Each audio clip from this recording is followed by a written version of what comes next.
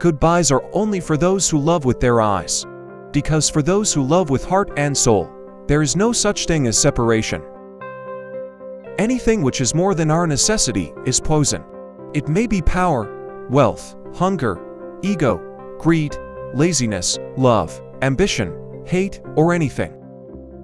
Knock, and he'll open the door. Vanish, and he'll make you shine like the sun. Fall, and he'll raise you to the heavens. Become nothing, and he'll turn you into everything.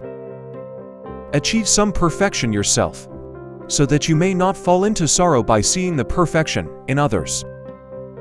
Be certain that in the religion of love there are no believers and unbelievers, love embraces all. Lovers have heartaches that can't be cured by drugs or sleep or games, but only by seeing their beloved. Anyone who genuinely and consistently with both hands looks for something will find it.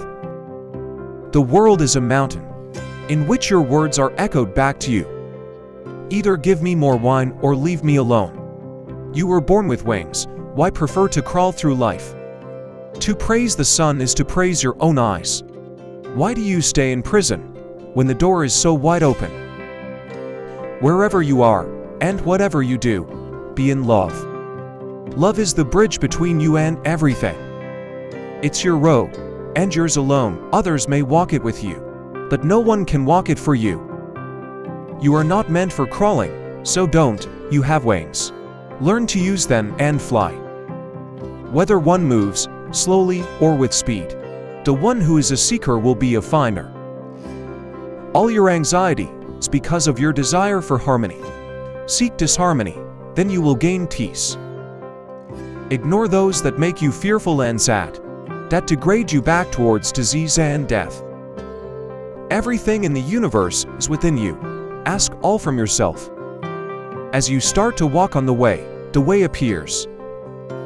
Don't you know yet, it is your light that lights the world.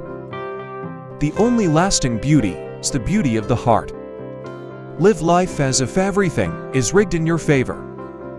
Stop acting so small, you are the universe in ecstatic motion. Seek the wisdom that will untie your knot. Seek the path that demands your whole being. Everything that is made beautiful and fair and lovely is made for the eye of one who sees. When the world pushes you to your knees, you're in the perfect position to pray. Yesterday I was clever, so I wanted to change the world. Today, I am wise, so I am changing myself.